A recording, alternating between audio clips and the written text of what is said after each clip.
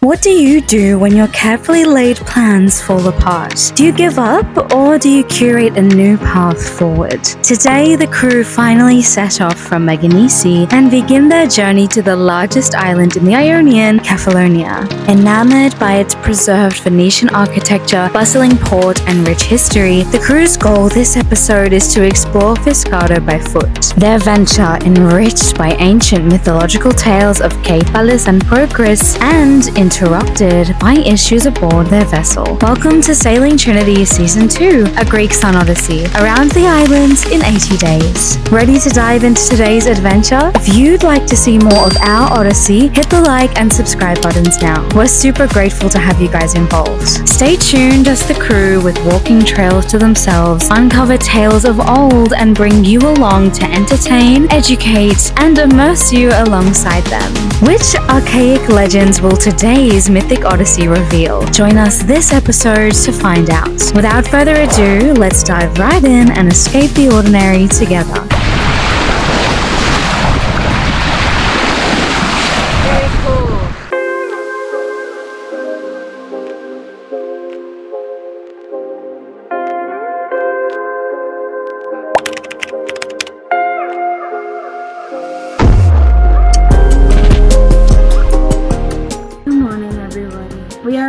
Head off. We are leaving this beautiful bay that has been our home for a few days, but we are looking forward to going somewhere new, getting back on the water. It's a very short journey. Right now it's about 10 a.m. I believe. We should be slipping lines about 10:15. We're gonna have our buddy boat again. Salties are gonna help us slip our shorelines, take the anchor up and head out and bring you on the lovely little sail with us. Hope you enjoy.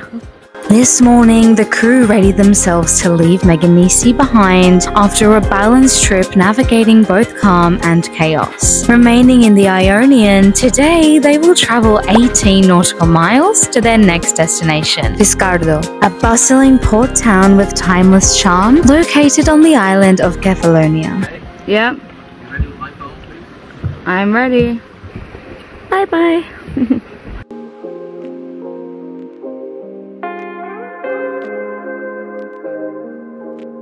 so we've just been circling the bay waiting for salties to free themselves and there they are. Hi! Lovely, we're all safe and ready to head out. Ooh, where's my finger? Here. A little bit choppy, Yeah, it's a bit swelly. a little bit of a chop. Wouldn't call it too much of a swell. Choppy waves. Kefalonia, the largest of the Ionian Islands, holds a rich place in Greek mythology. According to some variations of the myth, Kefalonia was part of Odysseus' kingdom and played a role in his extensive travels described in Homer's Odyssey. Additionally, Kefalonia is linked to the myth of the couple Cephalus and Procris. The hunter Cephalus, after accidentally killing his wife, overwhelmed with grief, fled to the Ionian Islands, where he soon established a new life. And the island of Kefalonia was allegedly named in his honor. Further, the island's rugged landscapes, caves, and beautiful coastlines visually evoke a sense of the epic adventures and dramatic tales that are the hallmarks of Greek mythology. The island's mythical ties make it a place where ancient stories resonate with the natural beauty of the present.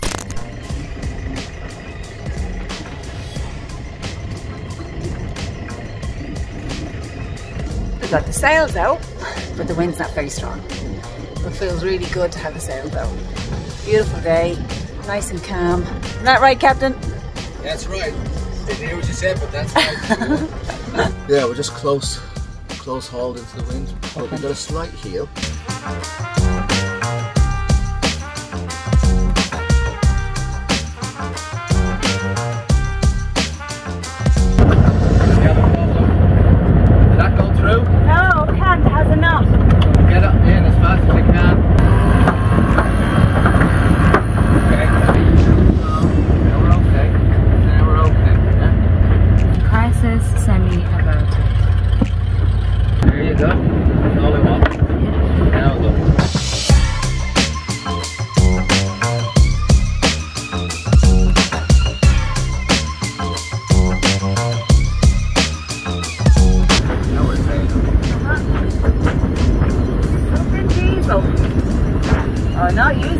Using diesel at all. Seven knots. Seven knots. The wind is very strong, yeah? Yeah. might want to refin a little bit. We're gonna tack soon because we're getting close to the land. Me to go that way.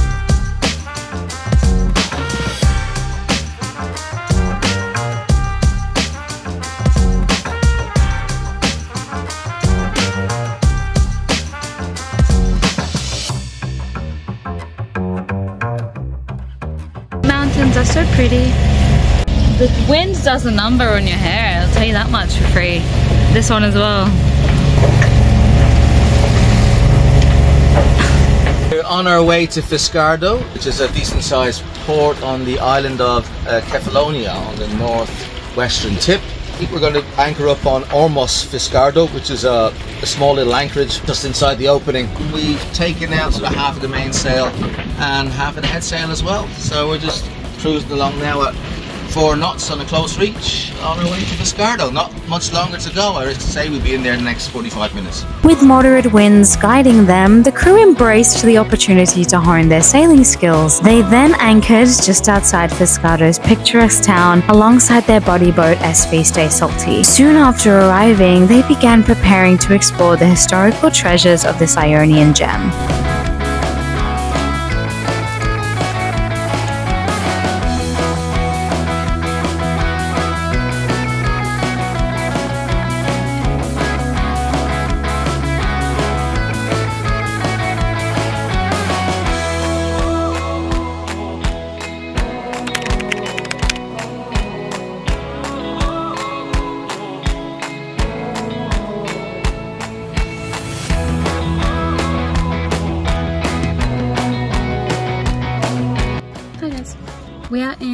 At the moment and we are on our way to the early Christian Basilica of Fiskardo. Now for all of you architectural nerds, I do have some very interesting history about the place, but I will be leaving that until we arrive. For now I thought I'd just let you guys know where we're heading. This way.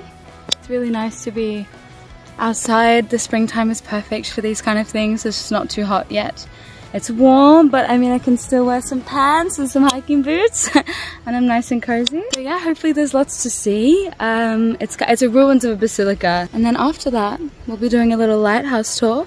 There's two lighthouses in Fiskardo that we're going to be visiting, and bringing you guys with us to see. So let's go.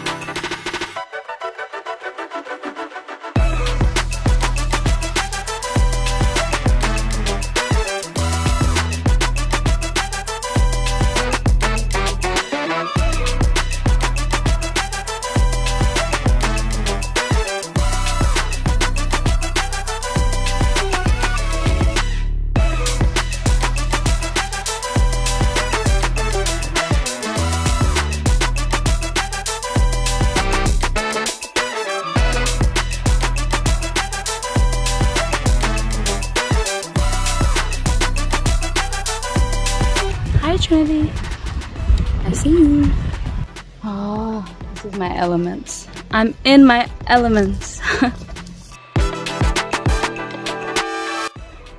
Eyes, right? Don't you think? Hmm, we are looking at each other.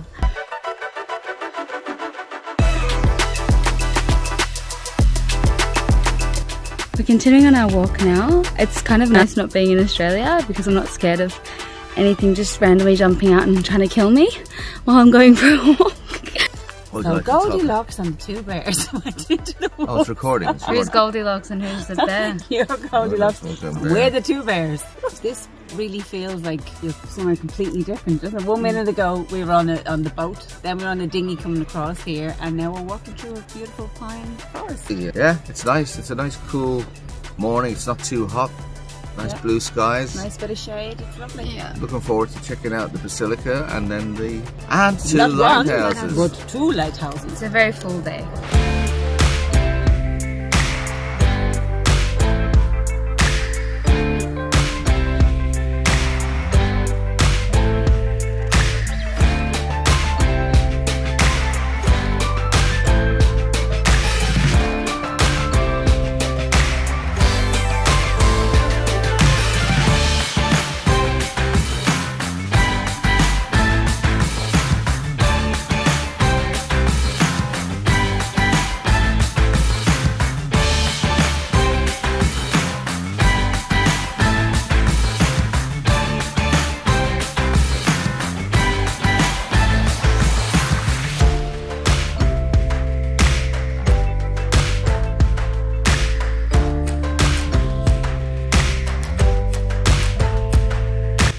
Path is pretty overgrown.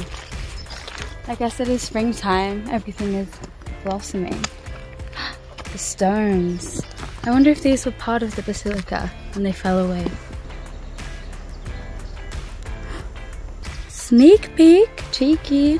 Cool, look at the shape of that. Looks like a, key- a keyhole. You know, like your no for an old fashioned key. I think it looks like a mushroom. Yeah, it also looks like a mushroom. Hey, is everything okay? No, the wind is picking up and we're thinking we're drafting, both of us. Oh, Marcus oh. just just went over to your boat and he's picking up a little bit of pain because we're getting way too far to the rocks now. yeah, okay, all right, we'll head back towards you.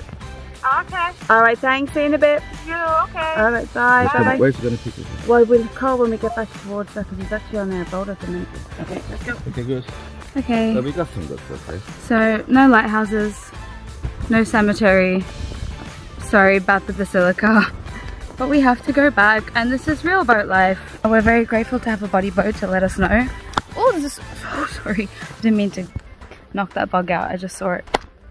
Reflex. Well, I guess on the way back, because I did do lots of research, I can give you some some historical facts about the basilica on our walk back to make up for it. So the basilica has an estimated 6th century build and during the Venetian occupation of some areas of Greece due to their massive trading enterprise, it was used as a defensive position. It's right up on the, the lovely hill as well, which is brilliant. Archaeologists and historians alike do believe that it was erected as a tribute to Saint Kerikos. Now, for all of you architectural nerds, I have some facts about the basilica that once stood. In its entirety, it used to stand as a triple-naved basilica with a semicircular external apse, a single narthex, and two towers on either side of it. It was erected as a devotion to Christianity, or during an era where there was a lot of Roman fervor going around these parts, oh, down these rocks. Thump, thump, thump. Supposedly, this was actually a very common practice of the time. I don't know particularly if it was in an act of revolt or if it was just in an effort to maintain the Christianity that was the previously predominant religion in the area. But let me know if you have any details. We are just about back now. I'll give you guys a look. On our walkies back, I presume that Marcus from Stay Salty, our wonderful buddy boats, will come and save the day again. And we'll run back to the boat and we may just have to pick up and leave. We'll see.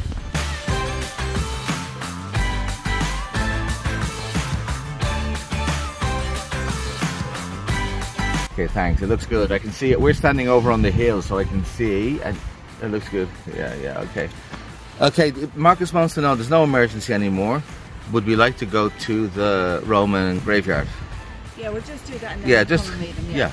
Yes, we're gonna come over to the cemetery now. Okay, cool. All right. Okay, mate. Thank you. With the dragging crisis averted, the crew turned their sights to Fiskardo town, eager to uncover its vibrant streets and its local charms.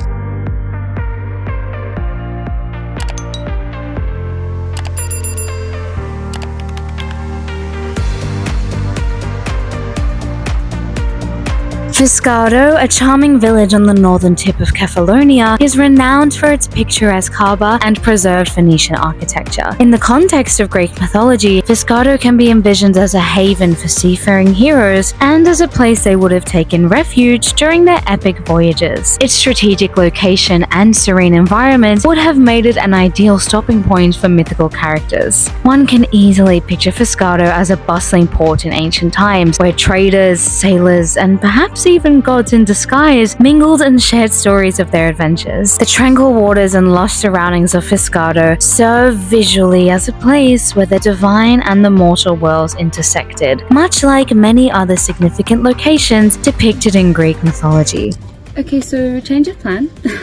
Um, we contacted Marcus on our buddy boat Stay Salty. They averted emergency. He went over on, on his tender and he took up about eight meters of chain. Uh, he was drifting, we were drifting. So he just set us, so less of an emergency. We're gonna head over to uh, a Roman cemetery, which is actually just on a little cove beside where we're anchored. And I'm just gonna check it out. We've heard it's quite good. It's one of the it's one of the things to visit when you're here. So we'll take you over there now, and hopefully we'll uh, we'll find some interesting things that you find in cemeteries, like gravestones. Unfortunately, no lighthouses. And there'll be yeah. plenty more lighthouses. Given that we're in a boat, we tend to, you know, Yeah. come upon plenty of lighthouses. There's loads of those. And we're going to weigh anchor around four o'clock and head to another town called Vati. The Mm-hmm. winds have changed; they're coming in from the east, which is exactly where we're exposed on the on the bay where we're anchored at the moment. All right, let's go. Just as they picked themselves back up, ready to dive into Fiskardo's delights, another call forced the crew back, this time for good, as both anchors were dragging. With no time to lose, they rushed to Marcus's dinghy and all the way back to their boats.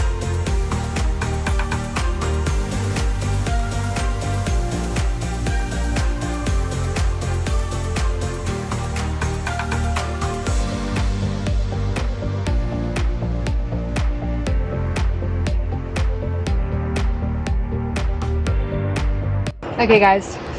Just kidding. No Roman cemetery. We've actually just got to pick up and go now. Just to be safe, there's a lot more wind than expected. And yeah, look, there's Marcus getting back on his boat. We're just way too close to the rocks. And with a bit of swell, you know, slowly but surely, we could just be in a lot of danger. So I'm gonna get on the anchor and we're gonna go. Take this off because we're not anchoring anymore. Have you guys had any experience bodyboarding? Has it saved your chomps more than a few times? Just give me the shout, yeah, when you need me to start picking up, okay? Yeah, just trying to get my location in. There's a lighthouse, so one of them we were going to be visiting. Anchor. Okay, Terry, start picking her up when you're ready. Yeah, I got you. Look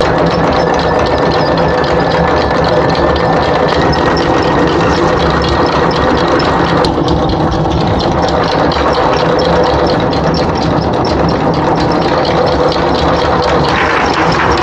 that.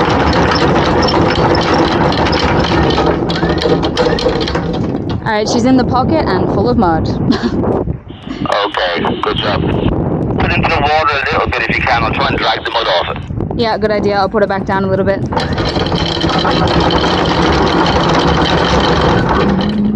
Yeah.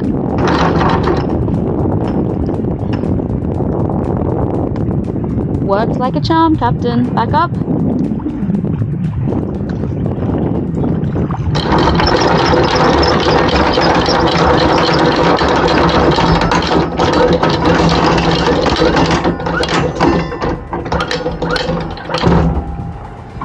Make sure it's not locked. Grand. That was a nice, pretty straight pickup. Shall let that air out a bit. So this is real sailing life, everybody. Things don't go to plan. But I think it's a good practice for life. The salties are free and safe as well. Yeah. Oh, if we go onwards to... To Vati Yes. on Ithaca. Yes.